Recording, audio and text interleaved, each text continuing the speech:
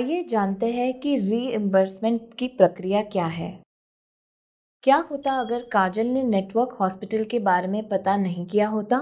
क्या अस्पताल राज का इलाज नहीं करता? ऐसे में भी अस्पताल राज का इलाज ज़रूर करता, लेकिन कैशलेस उपचार नहीं, बल्कि रीइम्बर्समेंट प्रोसेस के साथ। अब इस रीइम्बर्समेंट में क्या होता है? पहले पॉलिसी लेने वाला अस्पताल के सारे बिल्स खुद भरता है, और उसके बाद वो सारे बिल्स इंश्योरेंस कंपनी को जमा कर देता है और इंश्योरेंस कंपनी उस बिल की भरपाई पॉलिसी लेने वाले को कर देती है। इसीलिए जब आपका ग्राहक पॉलिसी खरीद रहा है तो उसे इन सब नियम की जानकारी ज़रूर दीजिए।